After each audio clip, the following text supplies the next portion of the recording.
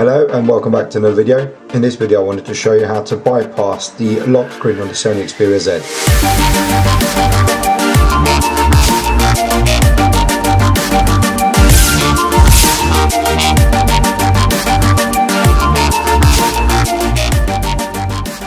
This is a video collaboration with Video Orchard. Obviously it's on his channel, but do check out the link in the description below where my channel is.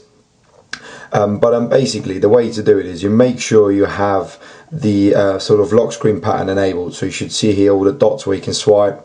And if I was to swipe and unlock, you could see it goes uh, into my into my home screen there.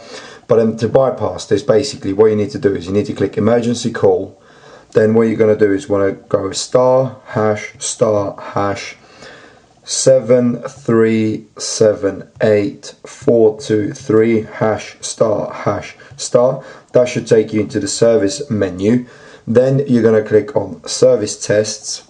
Scroll down to NFC click on NFC diag test and that should um, come up here and um, all that kind of stuff comes up. And then you just click home and that takes you into the home screen. So short sharp video. This is on the latest software. I'm going to show you that now where um, you can see here this is 4.1.2 and the build number is 434 so let me show, show you that again this is on the latest build. You can see my settings here. This is 434 in the UK on 4.1.2 so the latest software has just been uh, installed but um, it still works on that one. So thank you very much for watching. I hope you enjoyed this video. If you have please give it a thumbs up. Feel free to subscribe. Also check out my channel in the link down below. Um, and I hope to see you in my next video